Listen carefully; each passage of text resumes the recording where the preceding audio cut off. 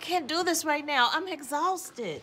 How are you tired and I'm the one who worked late? Yeah, because you're only working one job. I'm doing two. What are you talking about? You know what I'm talking about. The game show all black women have to play at work.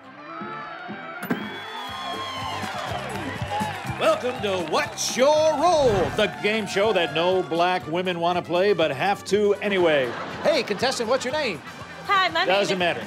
Let's see what role you have to play at the office.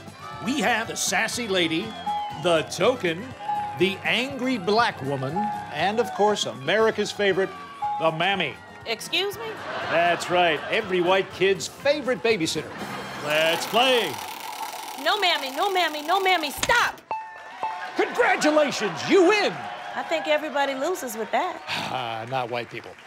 Because of the mother-like legacy of the mammy, co-workers like Brad and Dolores will feel way too comfortable coming to your desk bothering you about leather pants, chest hair, and all sorts of personal problems you could care less about. And they don't even know your last name. Actually, it's- Again, nobody cares. We'll see you next time on Black America's least favorite game show.